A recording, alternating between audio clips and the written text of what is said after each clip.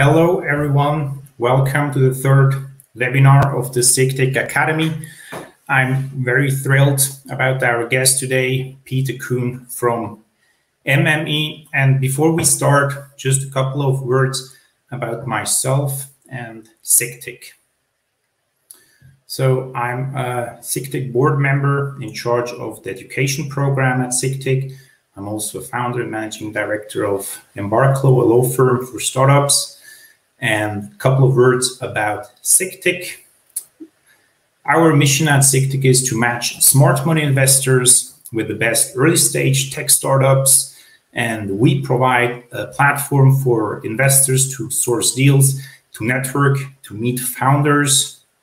And we also provide a platform for the startups to pitch at our events. So if you haven't, you know, checked out our events, our upcoming events, please go to our website, sictic.ch slash events. And we would be thrilled to welcome you on one of our events. And we have started the SICTIC Academy a year ago. We have our webinars, which you attend right now. We also have a skills course where investors share their skills, their experience with you please check out our videos on sictic.ch slash academy or our YouTube channel, um, which you find when you basically search for Swiss ICT Investor Club. And please stay also tuned for our investor handbook, which will be a game changer. You can pre-order it on our website. We will basically also, you know, add the URL for to pre-order the investor handbook in our chat. So please um, pre-order it, which is going to be really amazing. So um, let's get started. Our speaker today is Peter Kuhn from MME. He has been a partner for six years there at MME. He has been a lawyer for 14 years He's heading the firm's startup desk. He advised on numerous financing rounds, both on investor and startup side. So I'm super excited to have such an expert with us today. And his topic is going to be how liquidation preference, valuation, and anti dilution interplay. So I'm very thrilled to hear what we investors should pay attention to when it comes to negotiating these terms. So without further ado, let's welcome Peter to the stage.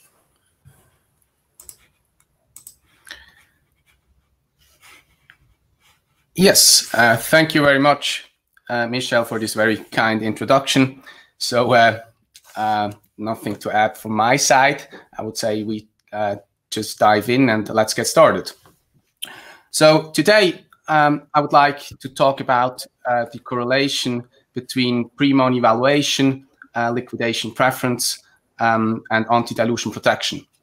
Um, what I see quite often uh, in uh, negotiations between um, founders and investors that um, pre-money valuation is there. There are quite lengthy negotiations about the pre-money valuation, but um, there is much less focus on um, the liquidation, on the structuring of the liquidation preference uh, and the anti-dilution uh, provisions. So, of course, uh, the pre-money valuation is is a very relevant factor. Um, uh, but when we look uh, at the final allocation of the exit proceeds, um, such final allocation um, is is the result of a combination of the pre-money valuation, but also uh, of the liquidation preference and the anti-dilution provisions. Um, so uh, I think investors and, and, and founders should be uh, aware of those correlations and uh, should not just look at those uh, provisions or those topics uh, isolated, but I but understand how they are connected. Okay. So just to recap, that so that means that basically an investor's multiple like depends not only on the pre-money valuation, but also basically how he negotiates the liquidation preference and anti-dilution provision. Is that correct? Absolutely. I mean, the, the pre-money valuation of course, has a very obvious and immediate effect. The higher the pre-money valuation, the less uh, uh, and the less shares an investor receives for a certain investment amount. But uh, yeah, as, as you just pointed out, it's just uh, one one puzzle, uh, one piece of the puzzle. Uh, so when it comes to the final distribution of the exit proceeds, um, liquidation preference and also anti-dilution provisions can become very relevant. And I think the parties involved should be aware of that from the very beginning uh, to prevent uh, bad surprises uh, at at the exit. Okay, so don't get too stuck basically on pre-money valuation. Also consider other economic negotiation points. Absolutely. All right. Yeah. So let's have a look uh, at the uh, three terms that we just uh, were discussing about. So the pre-money valuation or the three topics. So pre-money valuation, uh, as I just said, just said, obviously determines the share the investor uh, acquires in a company for a certain investment amount, and uh, it is of course relevant to how many shares um, an investor receives. Um, so uh, it can be decisive with regard to controlling rights.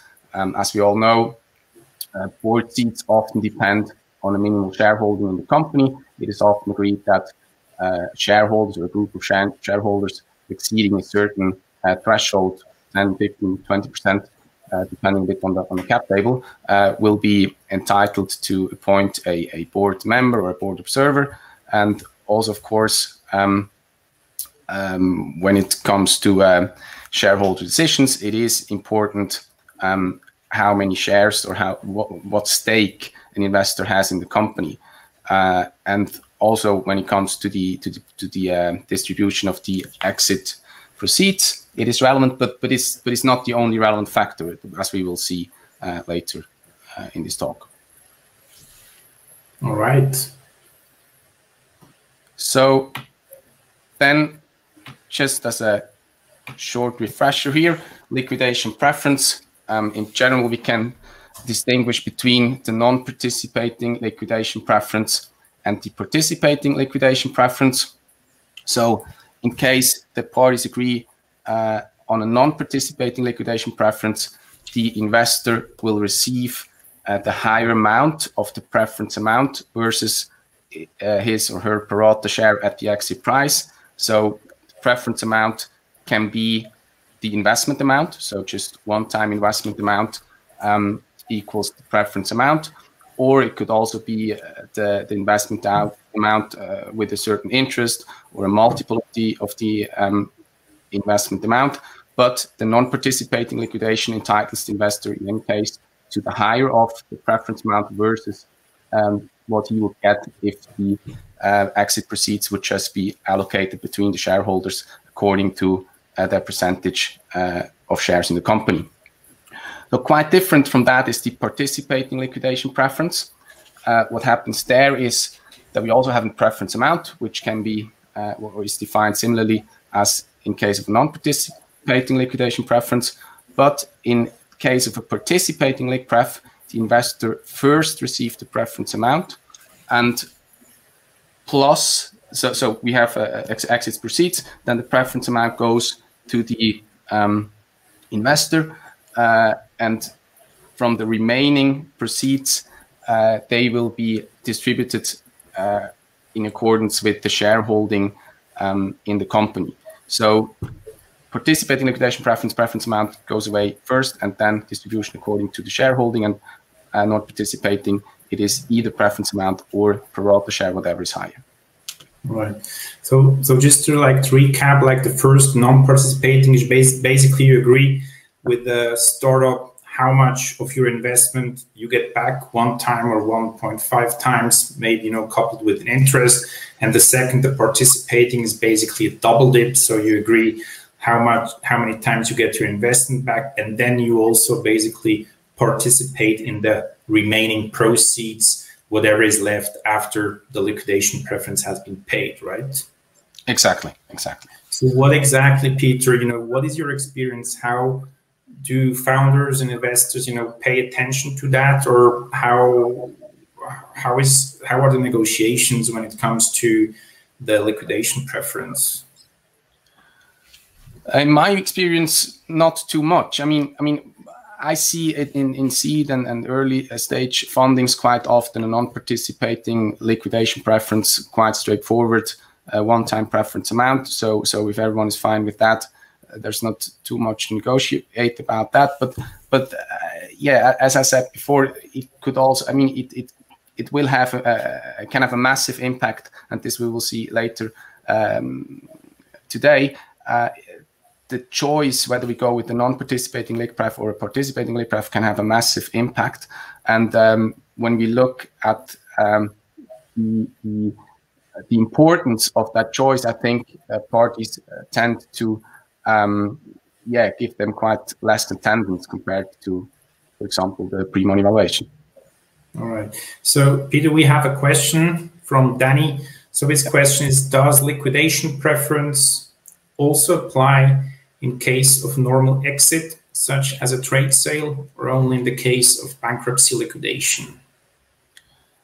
Yeah, the, usually it is structured that it that is uh, that it is it does apply in, ca- in case of a trade sale. That's that's uh, the um, the scenario we're all hoping that we will uh, reach in case of an investment. So yeah, absolutely, it, it, it will also apply in such scenario. Awesome. Yeah, so, and then we can have a look at the anti-dilution protection. Um, so the anti-dilution protection becomes relevant in case of a down round. So what is the down round? The down round is when the issue price of a fundraising round is lower than the issue price of the previous round. So the investor of the first round gets financially diluted because um, the investor of the first round paid a higher price than the investors of the subsequent uh, financing round. And the concept or the idea of an anti-dilution clause is to protect the previous investors from a from a down round. Um, so there are different um, ways or, or, how to structure that. So there's full ratchet versus average weight versus average weighted, and within the average weighted um, um, anti-dilution protection, we can distinguish between narrow-based and broad-based. But in principle, um, the idea is that in case we have a down round, the um, investor of the first round shall be entitled to subscribe or receive additional shares, taking into account the lower price of the of the pre of the subsequent round. So he will be put in a position as if he would have had a chance to subscribe at least part of the shares to this lower uh, price of the uh, subsequent round. So to which price exactly depends then whether it is a full ratchet or average weighted um, uh, anti-dilution protection, uh, which we will also have a look uh, mm-hmm. later uh, a bit in more detail. But this is the, the, the concept is is to prevent or, or to soften the effect of a um, down round for the investors who uh, at that time already have paid a higher price uh, for their shares mm-hmm. in the company. Mm-hmm. So, so basically, the the anti-dilution is like a protection. You know, if you paid too much for your shares, and in the next round the company is basically issuing shares for a lower price, then you will get basically as an investor more shares because you basically you know paid too much for your shares and the other one the preference the liquidation preference basically how to get basically a better multiple on your investment right? So one Absolutely. is like one is like um, upside leverage and the other one is like downside protection. Exactly. And here we see already the impact on the i mean in case you have a, we have a very high pre-money valuation in the first round, it is more likely that we have a down round, and the down round um, has an impact on the higher valuation of the first round. So, so in as a result, um, in the end, we are in a position where we would have a, a lower pre-money valuation from the very beginning. Uh, so it, it there is a there is a correction measure uh, in case we have a too high or it turns out that the uh, first round or the, the, the previous round um, pre-money valuation was turned out to be too high. And yeah, that's that's exactly what I was referring to at the at the very beginning. That uh, pre-money valuation is not the end of the story. It uh, in case we have a down round, uh, there will be uh, correction measures usually implemented. Okay, so basically, this is also like a means to put pressure on the on the on the startup, right? If they basically, you know, set a really high valuation, then you basically can put as an investor pressure on the startup that okay, guys, I'm okay with that, you know, pre-money valuation, but um, you just need to basically, you know, um, basically reach the next milestone in order to confirm that same valuation, and and otherwise you basically need to issue more shares to me. Absolutely. I mean, in case uh, of a full ratchet, which we usually don't see, but but in case of a full ratchet, um, investor can be quite relaxed in case of a down round because he gets more or less uh, fully um, uh, indemnified for the price he paid for the too high price he paid in the first round. But yeah, we will we will see that afterwards as well. But this is exactly the mechanism. Yeah. Okay. So Peter, how many you know, is it is it very common to have these anti-dilution um, provisions in early stage rounds, in pre-seed seed rounds? What do you see? What is your experience there? Yeah, I see them. I see them quite uh, quite often. Yeah, I, I I've very rarely see full ratchet. I usually usually see average weighted, and and here broad based is um, like the softest version, and this is the one I see um, quite often but uh, no anti-dilution protection at all. I see quite. Uh, it, it, I don't see it often that, that there's no anti-dilution protection at all. So it's rare. Yeah. All right. So let's move on. Yes. So yeah, then uh, look at the first example. So here, um, I would like to show the correlation between the pre-money valuation and the liquidation preference. So let's have a look at, on the left side of the slide uh, we have a pre-money valuation of 10 million francs. Then we have an investment amount of 2 millions. So um, with post-money, obviously 12 millions. The um, investor receives uh, one sixth, so 16.7 percentage uh, of the company. And we have an exit price of 24 million francs. So let's assume that we have agreed on a one-time non-participating liquidation preference, which means the um, investor receives either uh, receives the higher of either the um, uh, mm, the preference amount, which is in a one-time non-participating liquidation preference the investment amount. So he either receives two millions or he receives 16.7% from the exit price from the 24 millions, which uh, equals 4 millions. So, and because 4 million is higher than 2 millions, uh, he receives in this example uh, 4 millions. Now we look uh, on the right side of the slide. Um, we increase the pre-money valuation from 10 millions to 18 millions.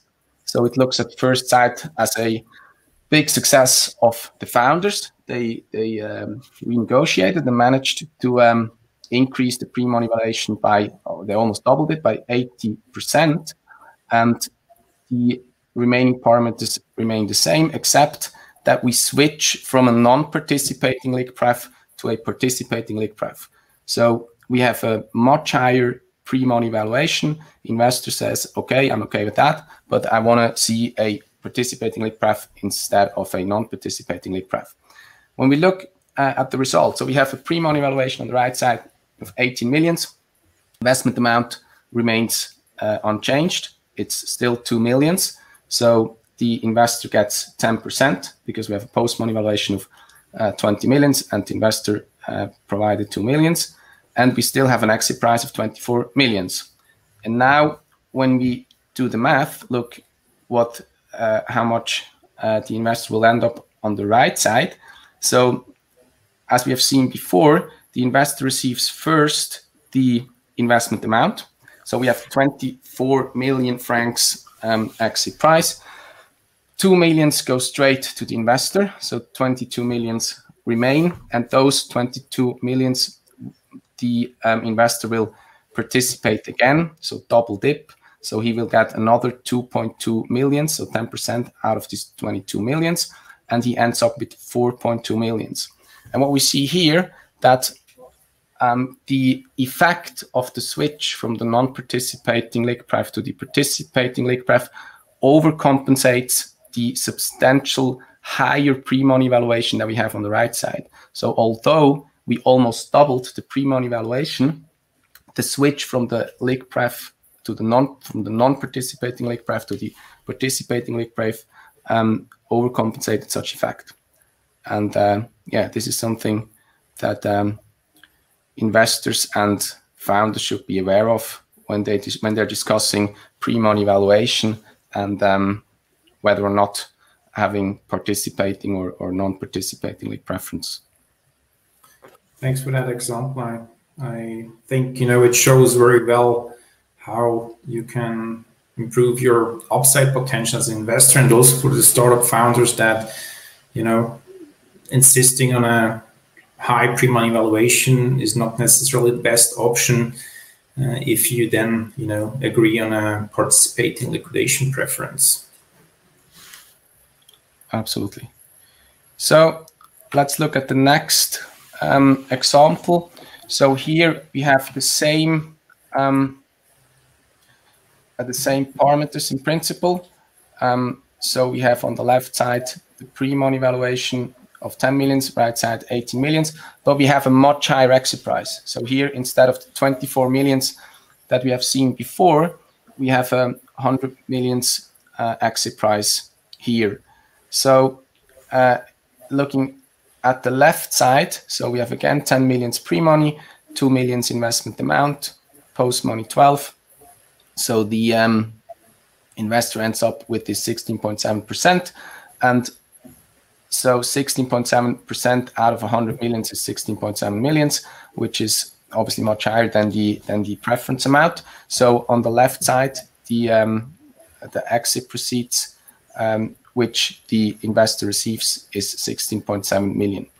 Uh, on the right side, we have the much higher pre-money valuation, uh, which leads to less shares for the uh, investor. So he only gets 10% here.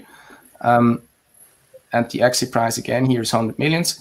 And as we can see here, so he receives first the 2 millions, the preference amount, and then um, with regard to the remaining 98 millions, so after we deducted 2 millions from this 100 millions, which goes straight to the investor, um, out of this 98 millions, the um, investor receives 10%, which is 9.8 millions. So he ends up with 11.8 millions, which is um, substantially less than on the left side. So here we can see that if we have a very high exit price, um, the switch from non-participating to, to, participating cannot overcompensate um, the higher pre-money valuation because here the higher pre-money valuation has, has the effect um, that obviously that that uh, on the right side um, the investor has just less shares than on the left side. And due to the very high exit price, um, the investor is better off with the with the left uh, with the non-participating late pref. So, I mean, here again, um, I think what what is important is that that investors and founders do these calculations uh, at the very beginning, so that they do understand in which scenario um, which scenario we benefit the most or, or what is the most likely scenario. I mean, yeah, I mean, in case of an of an 100 million exit, there's uh, it's, a, it's a pretty good scenario in any in any case. Uh, but still, I mean, as we can see here, it's just we have the absolutely same uh, basis here. We just changed the exit price, and the outcome is totally different uh, with regard to the effect uh, of a non-participating lake pref versus participating lake pref. So it just um, yeah, it shows that that we should do our model calculations to understand um, what the effect uh, will be. So basically, the higher the exit price, the more important, you know, your stakeholding becomes in the company, and the more important, basically, is to you know also set a reasonable um, pre-money valuation, right? Absolutely. Yeah. Yeah. Absolutely. So then we have one more example here. Um, when we look at the correlation between the liquidation preference and the exit price. So again, uh, left side, we have a pre-money valuation of 10 millions. Uh, same here, investment amount 2 millions, post-money valuation 12, exit price, here we go with 18 millions. This is what we changed here. Plus, we compare on the left side the one-time non-participating pref, and on the right side we have the we have a 1.5 non-participating liquid pref. So we have in both scenarios we have non-participating liquidation preferences, but um, on the left side the minimum amount, the preference amount is one time the investment amount, which means two millions and on the left side, it is 1.5 the investment amount, which is 3 millions. Now, when we're looking um, at the outcome, so here, as we have uh, 18 millions um, exit price, um, on the left side, we have the one-time investment amount is 2 millions. Um, when we um, distribute the exit proceeds based on the stake of the shareholder in the company. So the 16.7% uh, is 3 million. So 3 million is higher than 2 million. So he gets uh, 3 million investor here in the in the left side scenario. Uh, on the right side, um, we have 1.5 non-participating liq pref. So the investor gets in any case at least 1.5 time his investment amount, which is uh, 3 millions and on the other side compared to the three millions which he would get if he if the the exit price is just distributed based on the shareholding it's 3 million as well. So here there is no effect from that switch. But as we can see here it depends obviously on the exit price.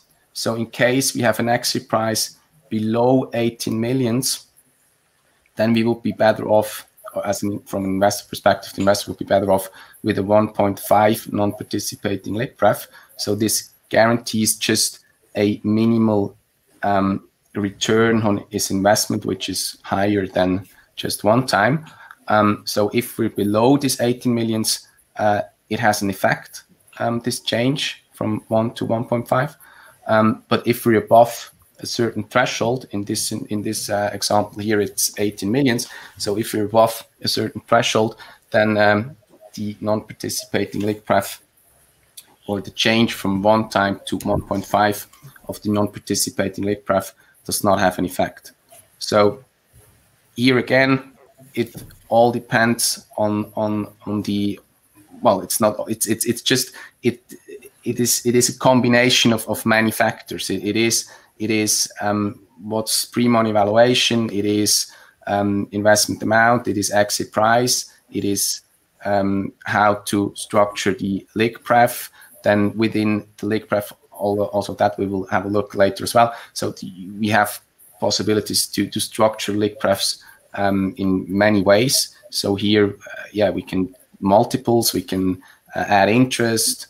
Um, there are some other ways. So it's just um, we do have room for negotiations. And, and for example, uh, yeah, if we cannot, if we do not find a solution on the pre-money valuation, we can we can talk about package packages, uh, which then may be uh, easier to agree on because um, all the parties involved uh, are are more aware or, or, or are pretty much aware on, on on what this means in the different scenarios. All right. So uh, I mean, it, it, also means that if I understood, you know, correctly, that basically if the if an investor thinks, you know, that the pre-money valuation is, you know, a little bit too high, it especially, you know, protect. He can also he can especially protect his upside, you know, potential with um, the multiples with, you know, a participating liquidation preference or a non-participating liquidation preference with a multiple, and but if basically you know um, if, if basically the startup goes through the roof, then the pre-money, a low pre-money valuation has a bigger impact. So it's like basically it is important for investors to negotiate there, especially because it can have like a big impact if the exit is below average or average. Absolutely, absolutely. Okay. Yeah. So we have a question. I think it concerns your previous slide. Can you go can you go back one slide? And the question here is could you please I mean, the question is um, from Alexandra. Could you please explain again why does the investor get less shares in this case? I think she meant less exit proceeds. Yeah, but also less shares, right? So I mean, yeah, uh, yeah. I mean, the reason for the less shares is that um, if we have a certain investment amount and so a higher pre-money valuation leads to less shares, right? Because when we look at the left side, we have a pre-money valuation of 10 millions and have an investment amount of 2 millions. So the post money is 12. 10 plus 2 is 12. And then, so the investor brought two out of these 12 millions. So he ends up with 2 divided by 12, 1 divided by 6, which is 16.7%. And when we have a higher pre-money valuation uh, as it is shown on the on the on the right side, the pre-money valuation is 18 millions. Investment amount is 2 millions. So post-money 20, um, which means that the investor brought two out of 20 millions, which is 10%. So the higher the pre-money valuation, the less shares you get for the same investment amount. Um, so this this is I think this is one of the reasons why uh, parties tend to focus pretty much on the on the um, pre-money valuation because it has an immediate uh, effect. So I just see it one. For I go one franc up with the pre-money valuation. I have I have uh, less shares and, and and and vice versa. So and and it it's it's it takes uh, more um, effort to to understand what is the exact um, effect of um, switching from non-participating to participating, um, having um, other some uh, multiples as preference amounts uh, and so on. Yeah, I mean, and and and then maybe I can also answer that question on on the right side. Why do we end up with the 11.8 millions instead of the 16.7 on the left side? So on the on the right side, um, we have the participating pref, which means um, when we have a exit price um, of 100 millions, then the investment amount uh, the two millions first go to the uh, investor. So, and then we have remaining 98 millions. And with regard to these 98 millions, the investor participates uh, with 10%, which is the 9.8 millions, what we can see here. And the 2 plus the 9.8 um, uh, results then in the 11.8 million Swiss francs. Thanks for explaining that. All right. So um, I think you know from from a practical approach, if if we have like investors, you know, and they are on a deal, and the pre-money valuation is pretty high. I mean, how hard you know should you push for a better liquidation preference than the one X non-participating? Yeah, I mean, I think in early stage investments, it is quite common that we do have this one-time non-participating liq pref. Maybe we could um, talk about multiples, but you you rarely see more than 1.5. So to see more than that, it's it's uh, happens quite rarely. Um, so yeah, I, I, think the the goal. Well, I know I know it's not that easy, but but uh, we should find a a more or less realistic uh, pre-money valuation. Uh, that's but but of course, and then we do have the. I think um, even quite a direct impact on the pre-money valuation, of course, then has the anti-dilution, which we will see afterwards. So, because when we have a down round, then we do have a correction measure there. And like uh, also, you know, just just something you know I want to mention as well that basically the first early stage investors also need to you know be aware of the next round investors, which will you know probably have the same liquidation preference he has, which might basically hurt him after that also. So it's like uh, yeah, pretty pretty pretty tricky situation if you want to negotiate uh, uh, like investor friendly liquidation preference at an early stage. Yeah, absolutely, and I mean it's it's uh, to a certain extent, or to yeah, to quite a far extent, everyone is sitting in the same boat and want to make it a success and to to remain attractive for um, further investment rounds. Um, yeah, we should uh, it should be more or less balanced, and, and too many um, rights want to invest will also um, make it more complicated to attract further uh, investors, which will hopefully provide uh, substantial money to the development of the company. Thanks so much. All right, what else? What's next? No more questions, so we go to the next slide. Yeah, let's go to the next slide. We don't have, at, at, at least for now, we don't have any other questions, but I'm okay. sure there's more to come. Um, yes, so then let's have a look at the correlation between pre-money valuation and anti-dilution protection.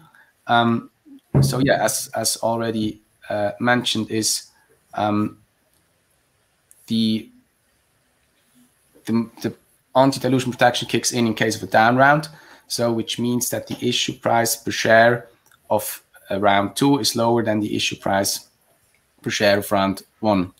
Um, so uh, we have those different ways to structure the anti-dilution protection. We have the full ratchet anti-dilution, which uh, basically uh, aims to put the investor one in a situation as he would have had a chance to subscribe for his shares at the lower issue price of the second round.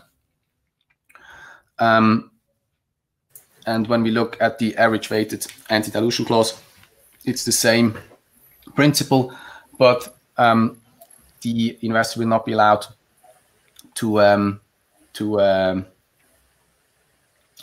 um, um, sign for additional shares to the price of the second round, but it's somewhere um, in between. Um, so it's it's uh, between the price of the first round and the second round, depending a bit on the formula which is uh, which then shall apply. But but it's the same principle at the end. The the investor shall get additional shares um, because he kind of overpaid uh, in the round before. Um, and then the question arises, where does he get the shares from? Um, so the shares can either be created by a share capital increase or uh, the founders can transfer part of their shares to the investor one. Um, in, in, in, in any case, um, in particular, full ratchet can have a very negative effect for founders um, because, on the one hand, um, I mean, a, a, a down round, a, a, a, decrease of the value of the company um, hits them anyway. So uh, it has a negative impact on them as just as, as it has on all shareholders.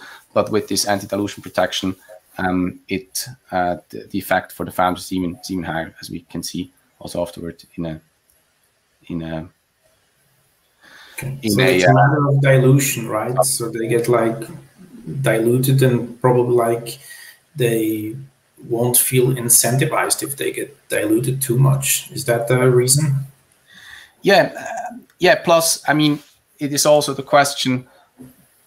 I mean, there are various reasons why uh, a down round could occur. So, of course, it could be the the reason that the pre-money valuation was of the of the previous round was just too optimistic, but um, it could also be the case um, that uh, that the market or they were, were uh, I mean, now we have COVID, so it was not so easy uh, to foresee that.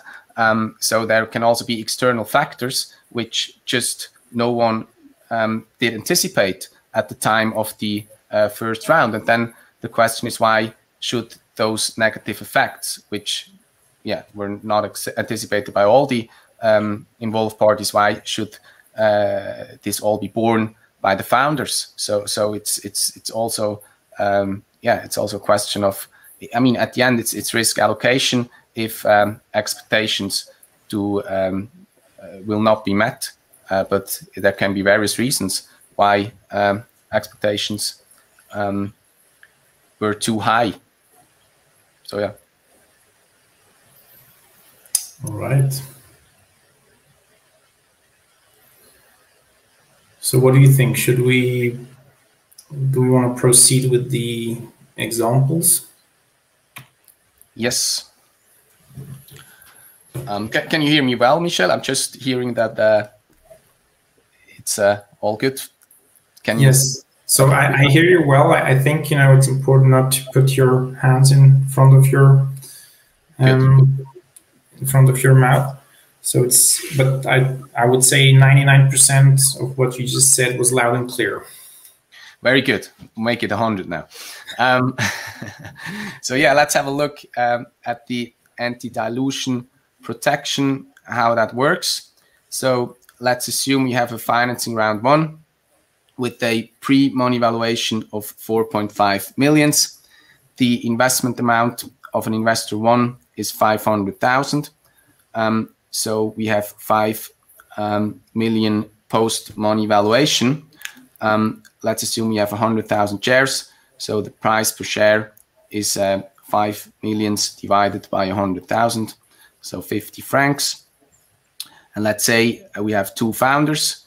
The both of them um, have 45,000 shares, and the investor here with his uh, investment amount of 500,000 and the price per share of 50 francs ends up with 10,000.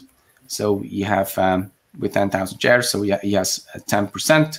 And on the very right side, we see the value. So we have the post money 5 millions, investors 5, 10,000 10, shares uh, have a value of 500,000 francs. So all as it should be. And then we have a round two. And let's assume we do not uh, have a anti-dilution protection for investor one. So we have a pre-money valuation of 2.5 um, millions, and we have still 100,000 shares here. So um, the price per share is 25 francs, which when we see that we had before the 50 francs, now we have the 25 francs issue price, um, which is lower. So that's why we do have a down round here. And let's assume we have another investor who invests now 500,000 and investor one who participated in round one does not participate in this second round.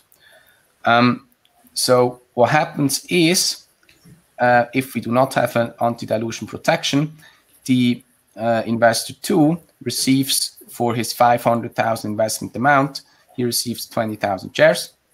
So he pays 25 francs per share. He ends up with 20,000 shares and um, he has 16 um, percent of the shares in the company. And this uh, so here we have a, a post-money valuation of 3 millions. So we have pre-money 2.5, um, investment amount 500,000. So we have 3 million post-money valuation.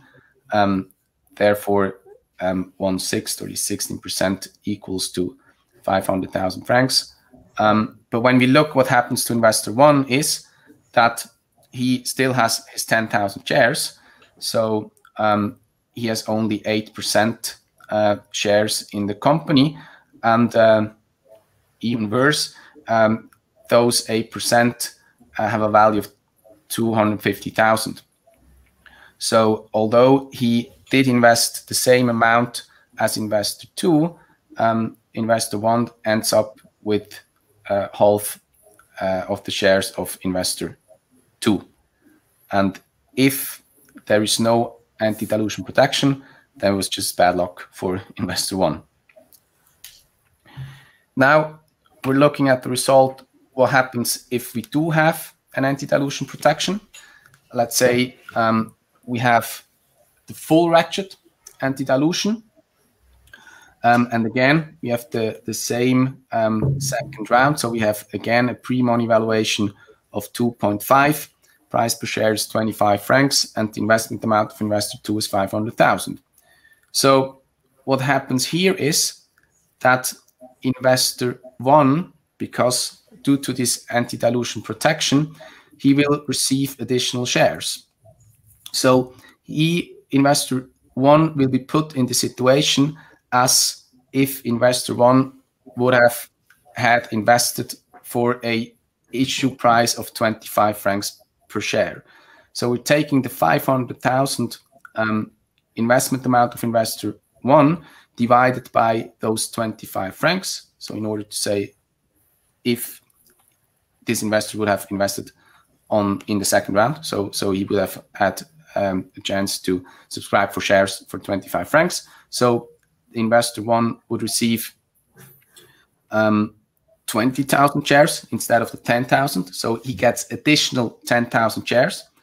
Um, then here the question is where does investor two, investor one get the shares from?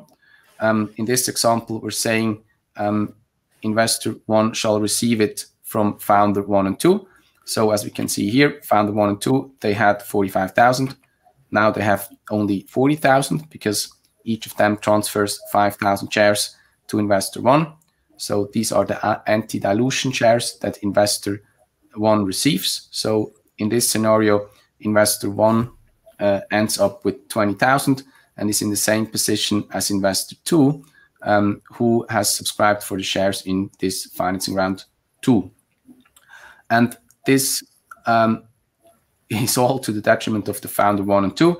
As we can see, um, the value of their share in the company decreases to 1 million and they have 33% instead of in this scenario where we did not have an anti-dilution and they had still 37.5 and 1 million 125,000 and here it goes down to 1 million and 33%. So the effect of this down round is completely borne uh, by, or the negative effect is completely borne by the founder one and two and investor one and investor two um, still uh, have the or uh, have a share in the company which um, complies to what they have invested the 500,000. All right. So Peter, we have a question. So I'm gonna. I also have like questions from from my side, but we have a question from Francois um, Bienholz first, and her question is: How often are there different treatments of shareholders? For example, shareholders who were participating in the first round versus investors entering later. In your experience, so basically, the question is: You know, are seed investors treated differently than Series A investors? Do they get different terms? Um, yes.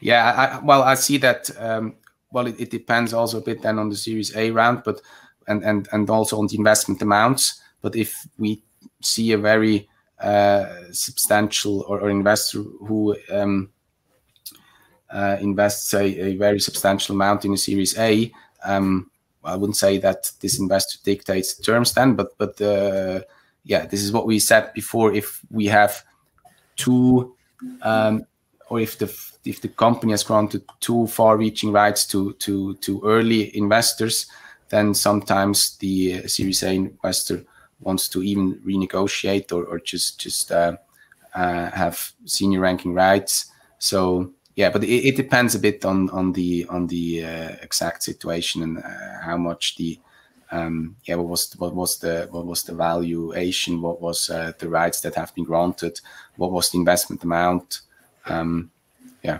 but um, yeah, yeah. The, the, the the rights are not usually not granted for eternity. That's um, and it also like depends on the trajectory, right, of the startup. I mean, if the startup is doing great then it's more likely that the investors will be treated equally. And you know, if the startup is doing you know bad, then obviously the next investors have more leverage, right, to negotiate better terms for themselves. Absolutely, absolutely. At the end, it's really a question of negotiation power, and yeah, what you just said. I mean, if the company more or less goes bankrupt without further investing, then uh, it's uh, a bit harder to negotiate on the founder side and also for for the early investors. Um, but yeah, it can also be very different. So it's it's it's it's, it's difficult to just um, uh, answer that in general. Uh, but um, yeah, we, we see that that um, uh, investors want to see or want to have senior banking rights. All right. So we have another question. We will try to answer that question, but it's a tax question. So what are the fiscal implications, you know, for the shares received from the anti-dilution protection? Is that, you know, the question is, is it a donation or what exactly is it? As you said, yes, a tax question. I, I would uh, double check with my tax colleagues, but I, I wouldn't know. It's in my view, it's not a donation because it's something that you agreed on the very beginning, and you anticipated that in case this scenario occurs, you will transfer shares. So I wouldn't say it's it's not it's not it's not a a, a donation, and it shouldn't trigger any um, uh, taxes in this regard because it's just. Uh, I mean, you it's like when you agree on on a different pre-money valuation. So at the end, it's a question of how it was negotiated, and this is just something that the parties um, agreed from the very beginning. And if it uh, uh, if this down round occurs, then uh, it happens what was agreed in the very beginning. So I don't see uh, big big tax issues there, but I would of course double check with my colleagues. I don't know. I, don't know. I mean, I also agree with you. It's definitely important to you know to have an agreement for that, you know, right from the beginning, as you said.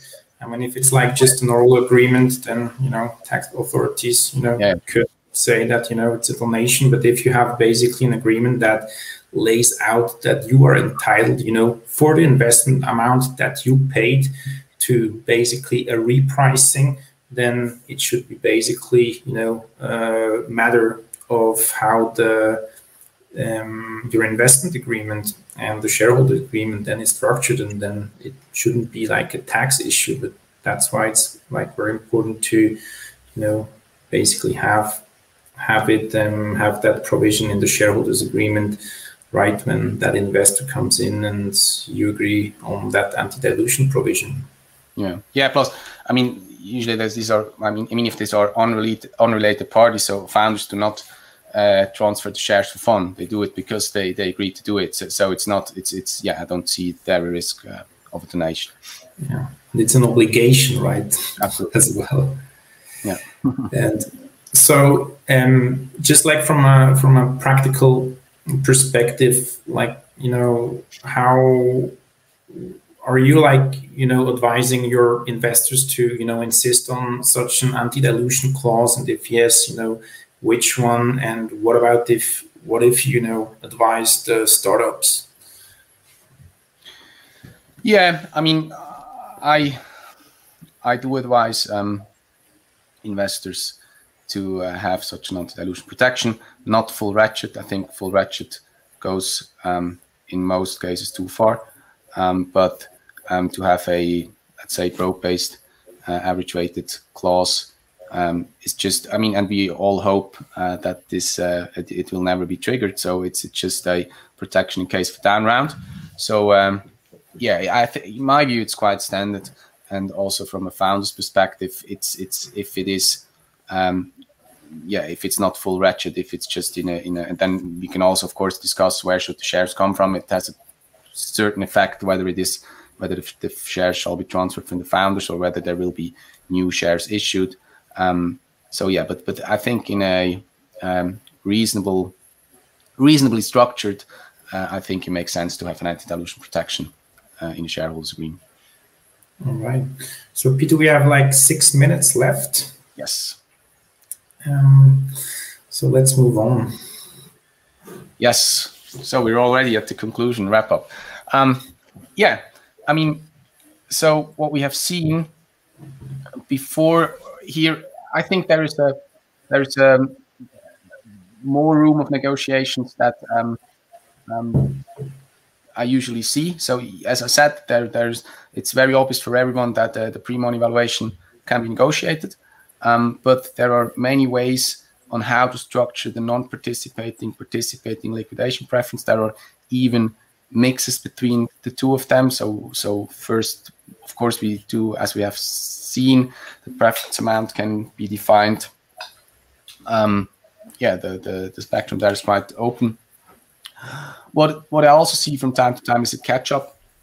So let's say if we have a participating um, liquidation preference, then the preference amount goes to the um, uh, uh, investors, to the preferred shareholders.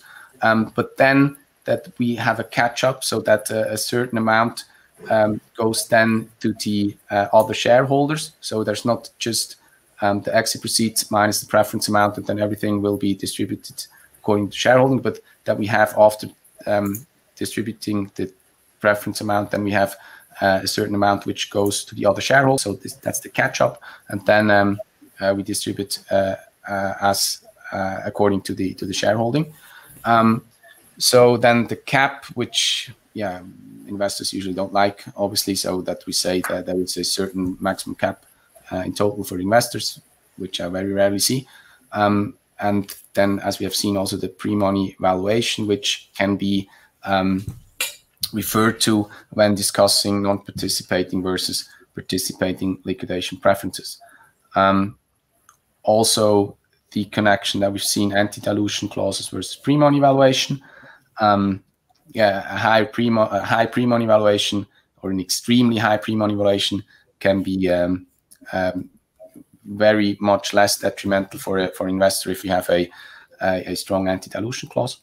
Um, and uh, so yeah, it's just what I was trying to point out is that there are ways to to to connect those um, those those provisions that uh, it also sometimes um, helps to um, move on in, in negotiations that we can uh, yeah it's not just it's, because pre-money valuation is just a number so it's not that easy. So it's like uh, I say five and the other uh, the others say seven. So then uh, we find those I don't know it's six but there there are other ways than to just talk about figures.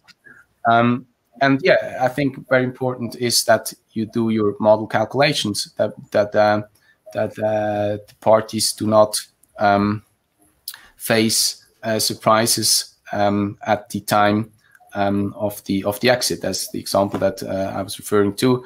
Um, looks first as a big success of the founders that they could push the um, the uh, pre-money valuation, but at the end um, they uh, end up in a in a worse place as they would have if they did not switch um, from participating to non uh, from non-participating to participating. Of course, depending then again on the exit price. But that's that's why it is it is important to do model calculations uh, to understand uh, what are the consequences of the different clauses. All right. So thanks a lot, Peter.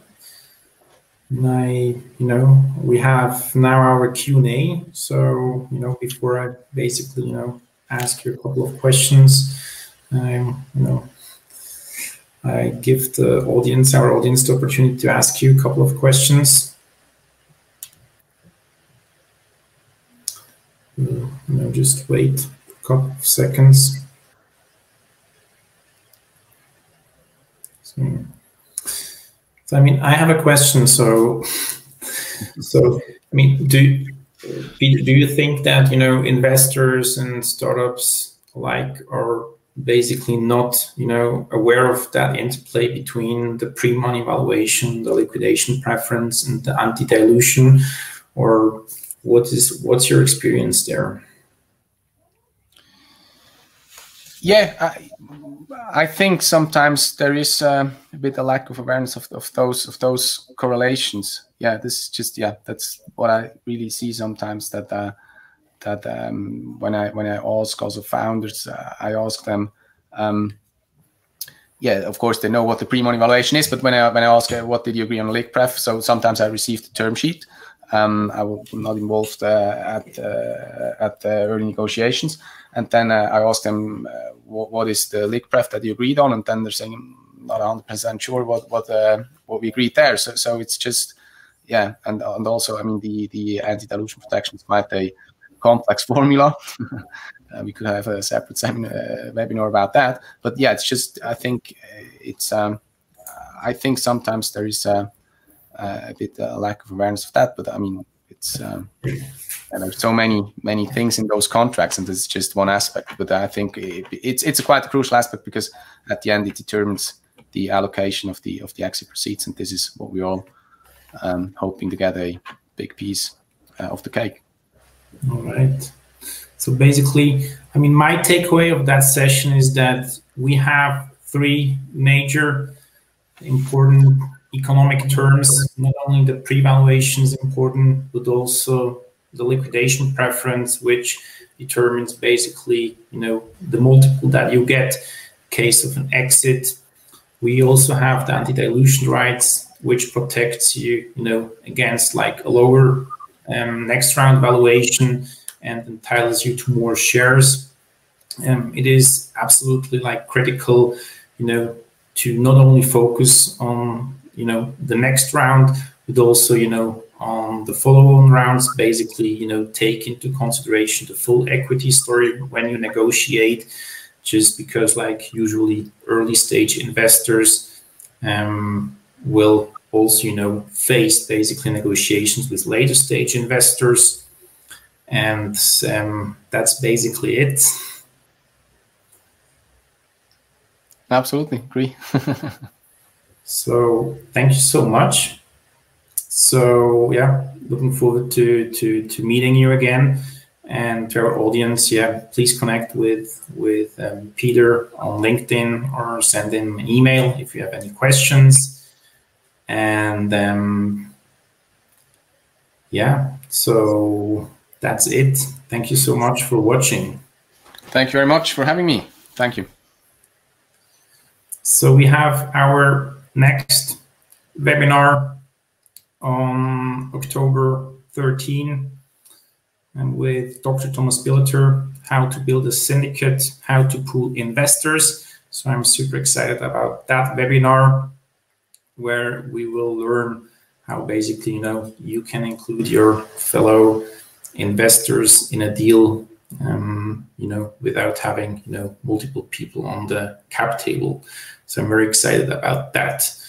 And please subscribe you know to our um, to our newsletter on sictic.ch slash academy.